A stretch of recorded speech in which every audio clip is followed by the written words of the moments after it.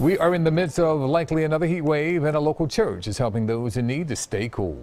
Eyewitness News at Agape International Baptist Church in Southwest Philadelphia for a free fan giveaway. Fans were given out at the church's weekly food pantry, which is staffed by volunteers. We thank you all. Look, all the little folks getting involved. I love it. I love it. All right, everybody have a great holiday.